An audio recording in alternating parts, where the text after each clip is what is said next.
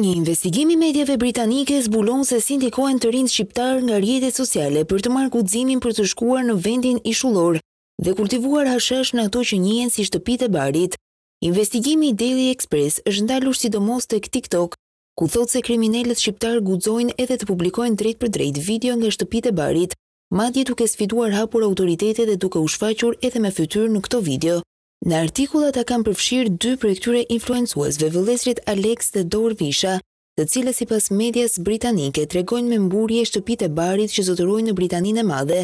Pavarësisht kësaj, shkruan media, ata udhëtojnë lirisht në Britani, ndërsa TikTok dhe Instagram nuk ka marrë asnjë masë për ta mbyllur llogarinë e tij, por përkundrazi e lejojnë që të reklamojë biznesin e tij të drogës. Gazetari britanik ka udhëtuar në Tiranë ku në intervistë është marrë edhe influenceri i TikTok, Kozak Braçi, ndërsa te komunikimet me të rinjtë tregohet se si përmes rrjeteve sociale ftohen të rinjtë që të udhëtojnë në Angli ilegalisht, madje me udhëzime të plota se si të veprojnë.